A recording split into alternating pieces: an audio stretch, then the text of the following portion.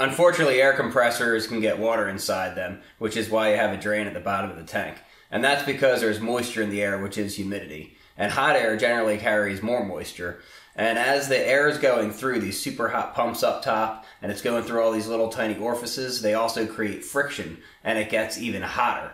So the more the pump runs, the hotter the air gets, and the more moisture you'll get inside your tank and through the lines. The water vapor in the air condenses under compression, and the more you compress the air, the more the pressure increases. And at these levels of pressure, it can pretty much squeeze moisture out of the air like you could squeeze water out of a sponge. So the more you run this thing, the more water you're going to get inside of it. Not only does enough water rob you of air capacity in your tank, but worst of all, water in your tank will corrode and rust it, increasing the risk of it bursting. And on top of that, with the moisture in the air already coming in, it's going to transfer even more moisture down the rest of the air lines, and that's going to get transferred to whatever tools you're using. And in turn, that can rust and destroy air tools, it can screw up paint jobs, it can clog and mess up powder coating and sandblasting. So you definitely want to have other things to battle that along the line after your air compressor, which I talk about in other videos. To drain the water out of your tank, you can use a manual ball valve.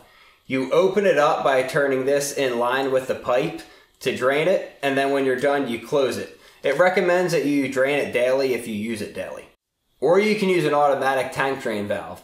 The automatic tank drain valve still has a manual shut off in case you want to turn it off before you get to the automatic part. But if you're going to use the automatic part, you want to leave this turned on, which is in line with the pipe here.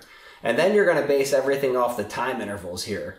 On this side, you have seconds. On this side, you have minutes. The seconds is how long do you want to keep the valve open to drain it. And the minutes is how often do you want it to open that drain valve. So you can set the seconds for as low as a half a second all the way up to 10 seconds. And you can set the minutes as low as every half minute all the way up to every 45 minutes. And if you don't want it to go off at all, then you can just leave this unplugged. And I've even heard of people setting this up with their light switch in the garage to actually turn on only when the light switch in the garage is turned on. This installs by simply screwing it into here and plugging this into the wall. I'm going to go ahead and put Teflon tape on my threads just to keep it airtight.